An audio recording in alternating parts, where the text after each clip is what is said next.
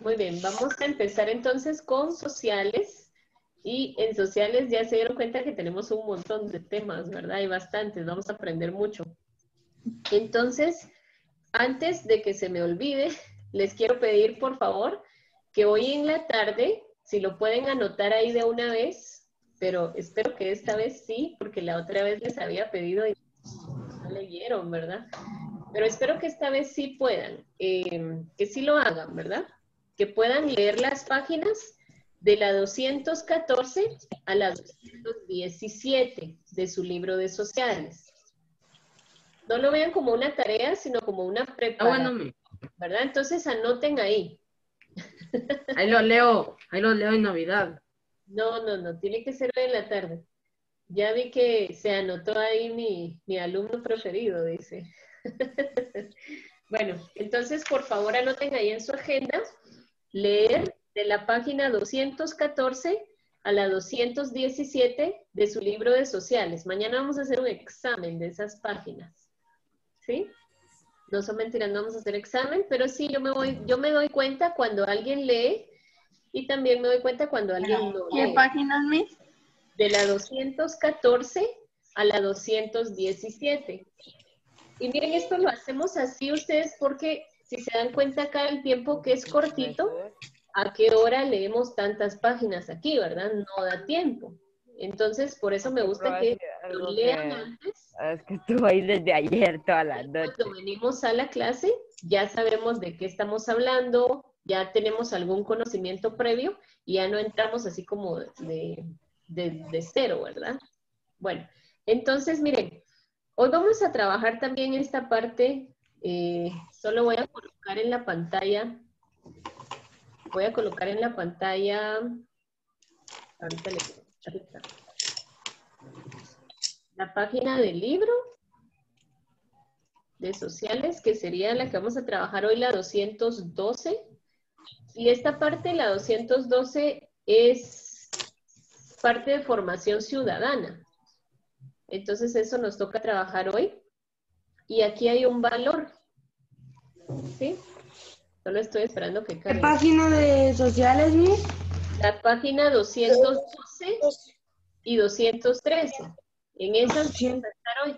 Pero como ya se dieron cuenta, que es una página donde dice comenta con tu grupo, ¿verdad? Entonces, ¿qué vamos a hacer? Comentar grupos, ¿verdad? 200 hacer grupos. Entonces, miren. Mi es lo que tiene usted ahí. ¿Qué es esto? ¿La página? ¿O no? ¿Qué página es? La 212 de sociales. Entonces, ah. miren, el tema acá, estamos en formación ciudadana, el tema es vivo en democracia, ¿sí? Y la democracia es lo que hemos estado estudiando estos últimos días, ¿verdad? Sabemos cómo se lleva a cabo. Nos damos y cuando no hay democracia. ¿Qué están haciendo? Acabando el trabajo. Vamos sí, a es que no me deja conectarme. Sí, no sé, es que a veces... Vamos a terminar. Pero sí. A mí no me deja conectarme más. Y también me va a sacar su... No, no, no, esperemos que no.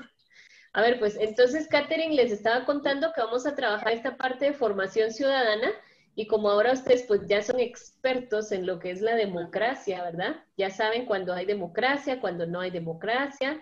También ya saben cuando no precisamente se deben tomar las decisiones en grupo, sino cuando hay un liderazgo que debe tomar las decisiones, lo hace, ¿verdad? Como en una familia, ¿sí? Donde los papás toman la mayoría de decisiones y solo en algunas situaciones pueden preguntar a ustedes, ¿verdad? ¿Qué opinan para poder tomar una decisión? Pero la familia es algo, pues, donde hay una mezcla, ¿verdad? O sea que ahorita van a empezar.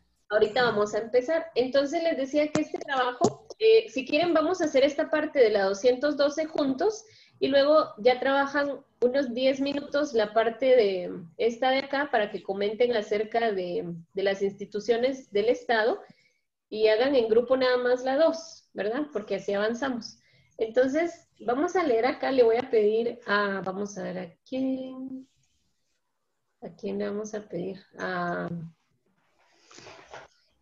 a, a Brian si nos puede leer el primer párrafo, donde dice, te has preguntado hasta la segunda parte donde dice años. Por favor, Brian. ¿Te has preguntado alguna vez eh, qué es un ciudadano? Los ciudadanos y la ciudad... Espérame, es que me trabé. No Las ciudadanas y los ciudadanos son piezas claves en las sociedades democráticas, aunque existen gobernantes electos para desempeñar las principales tareas políticas de un país. La importancia de una parti- participa- participación ac- activa en una sociedad no solo implica emitir el voto cada cuatro años. Gracias. Eh, Puedes seguir leyendo, Valerie, por favor, desde donde dice todas hasta colectivo, por favor. Mm, Todo, en todas y todos tenemos derechos y obligaciones al, vivir en una comunidad. Uno de nuestros más importantes deberes es velar, garantizar y prometer el bienestar de otros. De esa manera, los ciudadanos responsables contribuyen al desarrollo colectivo. Gracias. Miguel, ¿puedes terminar el último párrafo, por favor? Dice, una sociedad en donde las relaciones están regidas por la cultura de paz, los ciudadanos y el Estado trabajan en conjunto para identificar las vías más efectivas para el desarrollo integral. Gracias, Miguel. Entonces, miren, pongamos esto en práctica, ¿verdad?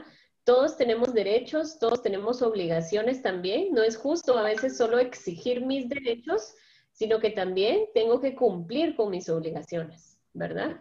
Entonces vamos a ver acá y dice nuestros derechos. Lee los siguientes derechos que establece la Constitución Política de la República de Guatemala.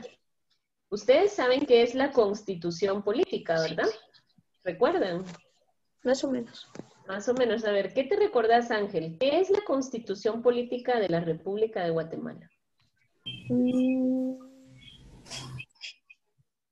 Son los políticos. Es la- ok. son, son, las- son el grupo de personas que se encarga que los derechos se cumplan. ah, pero fíjense que estás más o menos por ahí, Natareno, pero en realidad la constitución política no se trata de personas, sino que la constitución política, por decirlo así, es un libro donde está escrito algo importante para los guatemaltecos. ¿Qué es Las lo que leyes. está? Las leyes, muy bien. Ahí en la Constitución Política de la República de Guatemala están las leyes. Entonces, si el presidente va a tomar una decisión, tiene que respetar esas leyes. El presidente no se va a inventar las leyes, ¿verdad? O no va a hacer lo que él quiera. Él tiene que basarse a la Constitución Política de la República. Si él toma una decisión, pero hay una ley acá que le prohíbe llevar a cabo alguna idea que él tenga, entonces él no puede hacerlo, ¿verdad? Entonces aquí de la Constitución se derivan otras leyes, como por ejemplo la ley del trabajo, la ley de hacia la niñez, los derechos de la niñez, ¿verdad? Los derechos de las mujeres, los derechos de los trabajadores, ¿verdad? Esas eh, son leyes que están como eh, basadas en la constitución política, pero pues también son parte de ella, ¿verdad? Y son eh, leyes que, que más adelante, por ejemplo, una persona que está estudiando para ser abogado tiene que saber todas esas leyes, ¿verdad? Pero no solo ellos, sino también nosotros, fíjense que es nuestra obligación como guatemaltecos saber cuáles son las leyes que están escritas en la constitución política de, nuestra, de nuestro país, ¿verdad? Porque si yo, digamos, si yo infrinjo una ley, yo no puedo alegar, por ejemplo, ay, es que yo no sabía eso. O sea, no se puede. Como guatemaltecos es nuestra obligación conocer las leyes, ¿sí? Y respetarlas. Entonces dice, luego anota una forma en que estos pueden ser cumplidos por el Estado y por los ciudadanos. Vamos con el primero entonces. Tawi, ¿te puedes leer el primero, por favor? ¿Qué dice ahí? Derecho a la vida. El derecho a la vida. Entonces, vamos a anotar aquí un ejemplo. ¿Cómo el Estado cumple con el derecho a la vida? Pero yo no voy a ir diciendo, así que si ustedes tienen ideas, por favor las dicen para poder eh, hacerlo juntos, ¿sí? Protección de los ciudadanos. Protección civil. Muy bien. idea. Ajá, muy bien. Ahí dijo Catherine, protección civil, por ejemplo. O, eh, ¿qué fue lo que dijiste, Ángel? Proteger a los ciudadanos. Ajá, proteger a los ciudadanos, ¿verdad? Cuando alguien está en peligro, está en riesgo su vida, proteger, ¿verdad? A esas personas. Entonces eso podemos anotar donde dice Estado. ¿Y cómo nosotros como ciudadanos vamos a, vamos a respetar el derecho a la vida? ¿Cómo los ciudadanos respetan el derecho a la vida? No infringiendo ningún crimen. Ajá, pero podría ser no Matar. Ajá, que no, no debemos asesinar a nadie, ¿verdad? O sea, eso es algo que no solo porque está escrito ahí en la Constitución Política de la República, ¿verdad? O en las leyes, sino que es un valor como seres humanos, ¿verdad? Sabemos que Y nosotros, yo puse no asesinar. gracias Miguel, nosotros Está no bien. podemos, está bien Miguel, sí, No matar. sí, nosotros no podemos o no tenemos derecho a ¿Y ese en quitarle la vida iba? a nadie. Proteger, proteger a las personas. ¿Qué pasa si lo matamos por accidente por defensa propia o porque iba a matar a más personas? Pues fíjate que en ese caso Matar no fue, digamos, cuando es por accidente, por ejemplo, cuando alguien no sabe cruzar una calle, que eso es algo muy común, alguien no sabe cruzar la calle y viene un piloto y va manejando tranquilo y de repente esa persona se le atraviesa y lo atropella y esa persona muere, entonces en ese caso moralmente el piloto no tuvo la culpa, ¿verdad? Y, y él sabe que no lo quería matar, pero sí tiene una obligación delante de la ley de responder por la vida de esa persona, ¿verdad? Y regularmente lo que sucede es que los familiares pueden poner alguna denuncia en contra de esa persona y pues sí, puede pagar como que fuera un delito, ¿verdad? Porque la ley pues, y saben qué pasa, de que no se conoce. En ese caso, la persona puede decir, pero yo no quería. Pero ¿cómo sabemos nosotros de que de verdad no quería? ¿Cómo lo podemos saber? Entonces, no, no, es- Prueba. No hay pruebas, ¿verdad? Entonces, eh, la persona, aunque haya asesinado a alguien o, Yo haya atropellado a alguien, aunque no haya querido, sí tiene una obligación, ¿verdad? De responder por esa muerte, ¿verdad? Y Y puede conductor corriendo crimen. Pero eso ya es otra cosa, ¿verdad? Si lo atrapan, cuando, peor. cuando matan a la gente, cuando como a un homicida, la policía los mata para que no vuelvan a matar. Pero pues eso tendría que ser bajo ciertas circunstancias, ¿verdad? Porque, ajá, no puede ser solo Sí, que de muerte. Ajá, Mi sí. papá, mi papá me había contado de que hay una ley así que cuando uno le dispara a otra persona ya tiene, o hace daño a otra persona, ella tiene el derecho para hacer lo mismo. Mm, Bueno, sí, eso, la verdad es que sí hay cuestiones que la ley tiene que analizar, ¿verdad? No es solo decir, bueno, se va a la cárcel o cualquier cosa, sino que primero por eso hay un juicio, ¿verdad? Y pues ya son los jueces los que Y ya nos desviamos. y deciden, ¿verdad? Un poquito. Bueno, libertad e igualdad. ¿Cómo el Estado eh, respeta el derecho a la libertad y a la igualdad? ¿En qué momento? Respetando su, eh, su cultura, la Muy bien. cultura de la persona. Respetar a las personas de color o indígenas. Muy bien, ahí pueden anotar esos ejemplos. Y cómo nosotros, aunque ahí lo que dijo Adrián, Respetar, respetar la cultura de la persona. respetar No la discriminando. cultura, no discriminar, muy bien, ahí también, ¿verdad? Porque pues todos somos iguales, ¿verdad? Más cosas de. No te entendí, Javier. A ver, ¿cómo el Estado respeta la libre emisión del pensamiento? No sé qué es eso.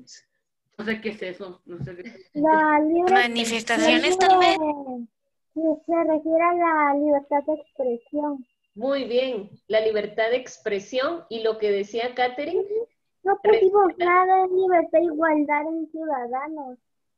Eh, es que dieron dos ideas y pues yo consideré que sí la tuya podría ser en ciudadanos también, como respetar a las personas de otras culturas, ¿verdad? Eso lo, lo hacemos nosotros, no necesitamos estar en el Estado para hacerlo, ¿verdad? Sino de nuestra vida cotidiana respetamos la cultura de los demás. Y aquí en el Estado, como decía Catherine también, cuando hay manifestaciones, ¿verdad? El Estado debe respetar y escuchar a las personas que estén manifestando. No quiere decir que siempre se vaya a hacer lo que la gente dice, ¿verdad? Porque a veces hay situaciones que no están en ley, ¿verdad? Pero el Estado debe escuchar cuando alguien tenga alguna propuesta y analizarla, ¿verdad? Y como ciudadanos, gracias. Vale. las diferentes opiniones. Muy bien, escuchando las diferentes opiniones, ¿verdad? No pensando que mi opinión es más valiosa o que yo soy más inteligente que los demás. No, ¿verdad? Todos podemos opinar, todos en algún momento nos equivocamos. Sí, ¿dónde va eso? Todos tenemos derecho. Donde dice libre emisión de pensamiento en la parte de ciudadanos. Ya no estamos ahí. respetando la opinión de los demás. Sí, me- usted me perdió. Aquí, en libre emisión, de, libre emisión de pensamiento, respetar la opinión de los demás. ¿Sí? Ciudadanos. Aquí, respetar la, la opinión de los demás. Esta es la parte más larga, ustedes. Espero que la otra la hagamos un poquito más rápido. Bueno, la siguiente, el derecho a la salud. ¿Cómo el Estado respeta el derecho a la salud? Brindando salud pública. Muy bien, salud pública. salud Hospitales. Ajá, eso, gracias. Entonces ahí lo pueden colocar. Hospitales que sean gratuitos, ¿verdad? Gracias, Valerie. A ver si puedo yo. Es- Hospitales que sean gratuit- gratuitos en todo. Pues sí, se supone que así debería ser, ¿verdad?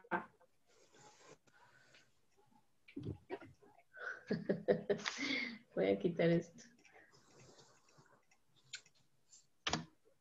Ah, ya no lo puedo quitar.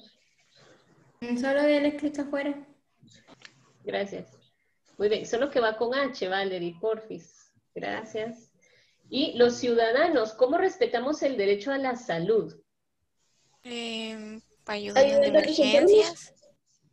Mm, sí, podría ser, ¿verdad? Ayudando a los enfermos, dijo.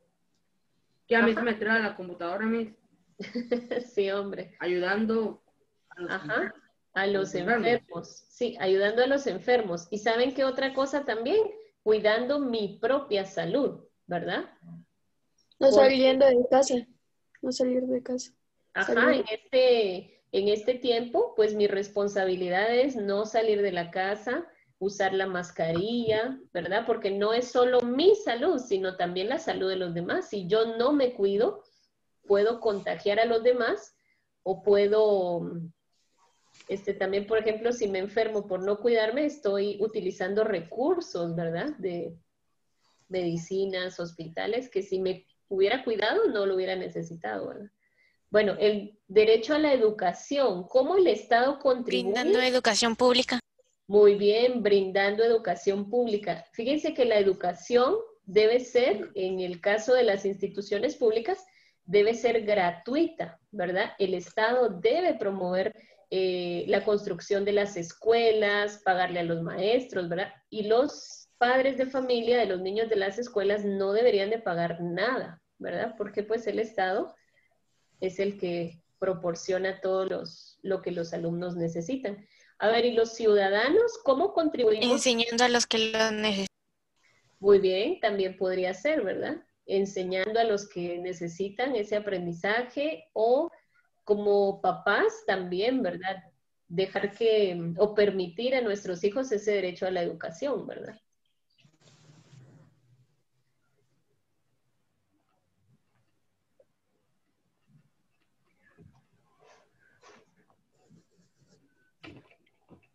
Me faltan como tres minutos para que termine la clase. No, no, no. ¿O sí? Déjame ver. Falta mis. Sí, Porque falta. después nos las 10 y cu- y Ajá. 25. No me ha aparecido el relojito, entonces falta un poco más de 10 minutos, creo. Pero va- tenemos que terminarlo en menos de 10 minutos ustedes porque después les toca mate. Bueno, eh, la libre locomoción. ¿Cómo contribuye el Estado a la libre locomoción? ¿Qué es la, locomoción, mis? Locomoción es que yo me puedo mover de un lugar a otro dentro de mi país, ¿verdad? Yo puedo ir a otro departamento, puedo ir de viaje, yo puedo utilizar, ¿verdad? Los espacios públicos para caminar, para ir en carro. A ver, Abrir las fronteras de todos los, de todos los, de todos los departamentos para la libre, el libre movimiento de las personas. ajá. Sí, podría ser respetar el libre movimiento, ¿verdad? De las personas, aunque también la constitución política le da el derecho al Estado de que en casos especiales se restrinja la locomoción, como lo que nosotros estamos viviendo, aunque ahorita pues ya no tanto como al principio de la, de la cuarentena, ¿verdad? Donde las personas no podíamos salir de nuestra casa. Entonces, en ese caso, muchas personas dijeron, no, pero yo tengo derecho a la libre locomoción. Sí, pero en situaciones especiales, el Estado tiene derecho a, eh, a ¿cómo se dice? Se me fue la palabra. A, como a quitar, digamos, por cierto tiempo ese derecho y las personas entonces deben respetar esto, ¿verdad? Que en este caso, pues fue por la enfermedad. Y los ciudadanos, el derecho a la libre locomoción, pues podría ser también algo parecido, ¿verdad? Respetando la señal. tal vez. Ah, podría ser respetar las señales, ¿verdad? Porque no puedo caminar como yo quiera cuando yo quiero, andar en el carro, por ejemplo, a la velocidad Respetar que yo las leyes quiera. de los lugares públicos. Ajá, respetar las leyes de los lugares públicos, ¿verdad? Te- Sí tenemos derechos, pero esos derechos también tienen sus normas, ¿verdad? Entonces, o respetar los lugares privados, ¿verdad? Si hay algún lugar que sea privado, yo no puedo ir y querer, por ejemplo, si hay un parque que es privado, no puedo ir a utilizar el parque Me sin meto al parque. autorización, ¿verdad? bueno, y la última, libertad de culto. ¿A qué se referirá la libertad de? Libertad de decidir la religión o las creencias de las personas. Muy bien, entonces el Estado debe respetar las creencias de las personas, ¿verdad? Las religiones. A eso se refiere. Si alguien quiere ser testigo de Jehová, mormón, evangélico, católico, eh, hay cientos de religiones, ¿verdad? Y las personas podemos decidir a qué religión queremos pertenecer, ¿verdad? Solo China no, no toma eso en cuenta. China no lo toma en cuenta. Hay muchos países China que no toman eso en cuenta, eso, ¿verdad? China solo quiere eso y matan a los cristianos. Sí, eso da en algunos países, es cierto. Entonces, pues los cristianos han sufrido mucho por eso, ¿verdad? Porque hay países donde no hay libertad de culto y entonces se asesinan a muchas personas eh, cristianas, ¿verdad? Porque no hay esa libertad de culto. Y los ciudadanos, a ver, nosotros, nosotros, ¿qué hacemos para respetar esa libertad de culto? Lo mismo es respetar las creencias de los demás. Ajá, muy bien, pero ya es como a un nivel personal, ¿verdad? Respetar las creencias de los demás, ¿verdad? No juzgar esas creencias, mis. ¿Cómo? Perdón. Juzgar las creencias, mis. Ah, muy bien, no juzgar las creencias, ¿verdad? Está bien. Aunque nosotros, pues, eh, yo, yo creo que la mayoría de los que estamos acá, o todos, ¿verdad? Somos cristianos y lo que sí es nuestro deber es hablarle a las personas acerca de la salvación que Dios nos ofrece, ¿verdad? Eso es nuestro deber. Pero ya si la persona quiere o no quiere, ¿verdad? Pertenecer a, al, al grupo de personas cristianas, pues es su decisión, ¿verdad? Pero tenemos la libertad también de invitar a esas personas, ¿verdad? Muy bien, entonces vamos a ir a la segunda parte. Esta parte de aquí, este, no la vamos a hacer, la parte de abajo ya no la vamos a hacer, solo aquí en la 213 dice une con una línea cada deber ciudadano con las instituciones del Estado encargadas de regular y asegurar su cumplimiento. Les había dicho que en grupo, pero ya nos estamos quedando sin tiempo. Entonces lo vamos a hacer aquí rapidito. Tenemos aquí cinco instituciones del Estado. Está la Corte Suprema de Justicia, está el Registro Nacional de las Personas o RENAP, ¿verdad? Está el Ministerio de Defensa, el Tribunal Supremo Electoral, la Superintendencia de Miss. Administración Tributaria. Miss, recuerde que después de la clase se queda conmigo. Ajá, va. hay un- sí, sí, no tengas pena. También con Miguel y sí, solo con ustedes dos, pero después hablamos de eso. Ahorita vamos acá. Entonces, acá, participar en los eventos electorales. ¿Cuál de estas instituciones es la encargada de esto?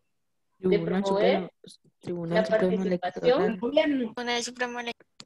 El Tribunal Supremo Electoral, muy bien. Entonces, el Tribunal Supremo Electoral se va a encargar de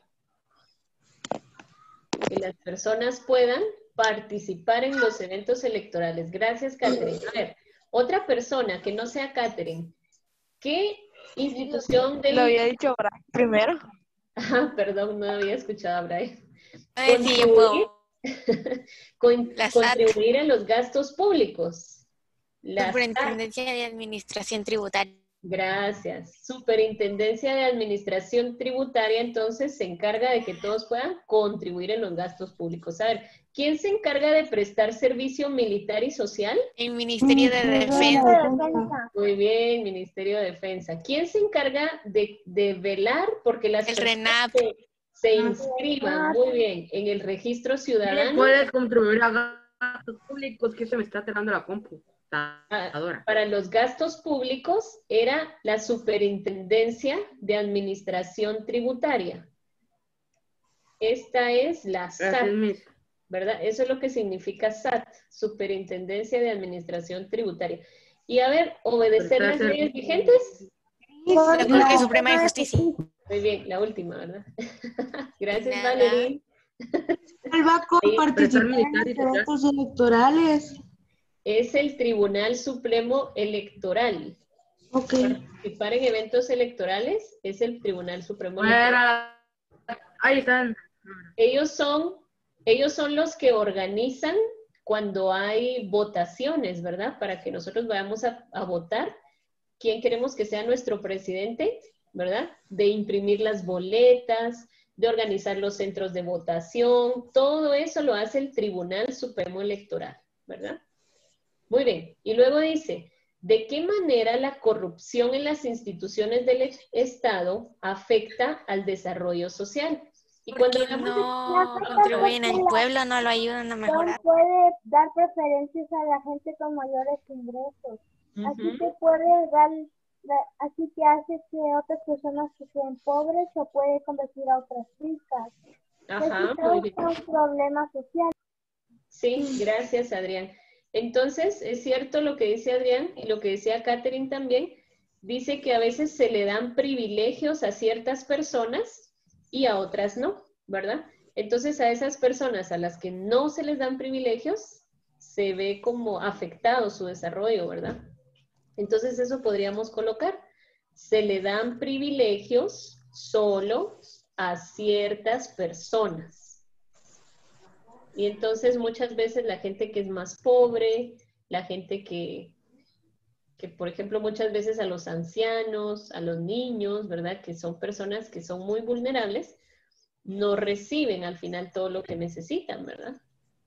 O un desarrollo social, ¿verdad? Como guatemaltecos, si los niños no reciben educación porque el Estado se gasta mucho dinero o, o las personas del Estado eh, hacen fraudes o hay roban. robos, se lo roban, ¿verdad? Entonces ya no se pueden con- construir escuelas, ¿sí?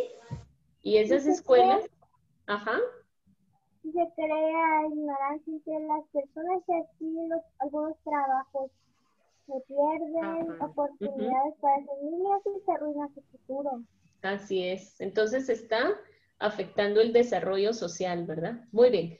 Vamos a leer esta parte y dice, Eh, Guatemala, junto a otros 189 países, se comprometió en el 2000 a cumplir los objetivos de desarrollo del milenio. ¿Se acuerdan de la ONU, verdad? Que es la Organización de Naciones Unidas donde los países se unieron, ¿verdad? Para que hubiera paz, para que se respetaran los derechos. Y entonces dice, reúnanse en grupos y discutan sobre situaciones cotidianas representadas en los objetivos. Coloreen un perdón, coloreen con color rojo aquellos que consideren que no se han cumplido en Guatemala y con verde aquellos que consideren que sí han mostrado avances. Ojo que no dice que sí se cumplen totalmente, pero por lo menos algún avance se mira. A ver, erradicar la pobreza extrema y el hambre. ¿Será que en Guatemala se ha trabajado en esto o no? No. Sí, se ha hecho. Ah, bueno, tendríamos que informarnos, ¿verdad? Un poquito más, aunque así como yo lo veo, pues la verdad es que no, ¿verdad? No, no se han mostrado muchos avances, ¿verdad? Sí se han hecho... Yo, tengo- yo no tengo que Se han hecho algunas actividades, pero en realidad no se ha erradicado la pobreza, ¿verdad? Y muchas veces se da así como ciertas ayudas o cosas así, pero créanme ustedes que cuando a las personas simplemente se les da de comer para cierto tiempo, eso no es erradicar la pobreza, sino que más bien sería como proveer de un trabajo para que las personas puedan subsistir, ¿verdad? Dar oportunidades de crecimiento, eso sí, pero ¿qué va a hacer una persona si solo le dan, por ejemplo, ah, te voy a regalar 200 quetzales al mes? Entonces no se está erradicando la pobreza, ¿verdad? Lo que se necesitan son otros planes, ¿verdad? Dar educación, promover el trabajo, ¿verdad? Dar oportunidades de, tra- de trabajo. Entonces sí, se está erradicando la pobreza. Pero Bueno, lo- de las personas que están en pobreza. Algunas personas que están en pobreza tienen adicciones como el alcohol y cuando las personas tratan de ayudarlas, entonces se ganan el dinero que gastan, otra vez van a lo mismo. Sí, dinero y vuelven a hacer otra vez. tienes razón, Adrián, muy bien. Sí, tienes razón. Y es cierto, y a veces uno quisiera como ayudarle a, a cierta persona, pero cuando lo miras que está, eh, que se va a tomar y cosas así, pues uno dice, no, ¿verdad? Mejor ya no le ayudo o mejor le doy un plato de comida, ¿verdad? Y tal vez de esa manera lo ayudo mejor que si le doy dinero. Pero Es, desde aquí- eh, mejor apurémonos porque nos quedan cuatro minutos. Sí, nos quedan cuatro minutos. Entonces, pero aquí estamos hablando más a manera global. Oye, Adrián, sí tienes muy buenas ideas, pero a de una forma general, pues sí nos hace falta mucho acá, ¿verdad? Luego, lograr la enseñanza primaria universal. Entonces, ¿creen ustedes que sí hay avances en esta parte o no? Un poquito sí, siento yo. Sí, yo creo que sí, sí se ha avanzado un poco. Entonces esta podríamos colocarla verde, ¿verdad? Aunque, aunque no del todo, pero como dice, pues algún avance por lo menos. A ver, mitad roja. Luego, promover la igualdad entre géneros. ¿Será que en Guatemala se observa eso, que eh, las mujeres y los hombres eh, viven en igualdad? Sí. Sí, yo creo que sí. ¿O Yo no? nunca he visto a un hombre que trate mal a una mujer así que se crea superior.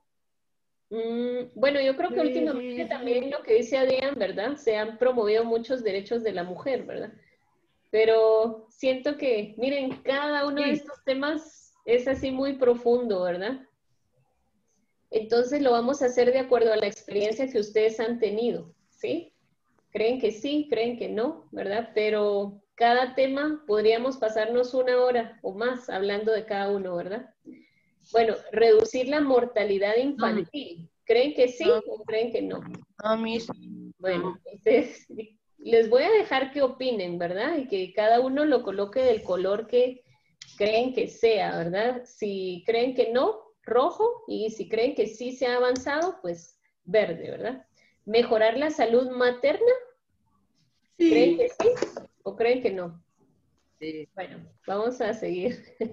Ustedes pueden pensar, si quieren solo marquen alrededor, ¿verdad? Ustedes ya es tarde, solo vamos a hacer estas tres y terminamos. Combatir el VIH o SIDA, el paludismo y otras enfermedades, ¿sí o no? No. Bueno, ahí dicen que no. Garantizar la sostenibilidad del ambiente. Sí.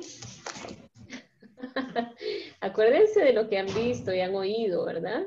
¿Será que nuestro medio Yo, ambiente yo está... lo estoy citando al azar. Bueno, ah, no, tampoco, hay que pensar. Faltan dos minutos. Dice luego, fomentar la nos asociación- metemos a otra reunión con usted. Ajá, sí. Fomentar una asociación mundial para el desarrollo. ¿Qué es eso, Miss? eh, fomentar una asociación mundial para el desarrollo como estamos unidos a otros países para que haya ayuda mutua en nuestro ¿Y desarrollo. Yo No. creo que sí, ¿verdad? Eso sí. No. Muchos países nos ayudan, ¿verdad? Otros no, pero algunos sí. bueno, entonces miren, eh, no sé si alguien quiere agregar algo a la lista, lo puede colocar aquí abajo. Y vamos a dejar esta parte entonces. Y De tarea. eh, no, no, no, la vamos a dejar así. Y ya las Oh. tareas son solo las de las hojas.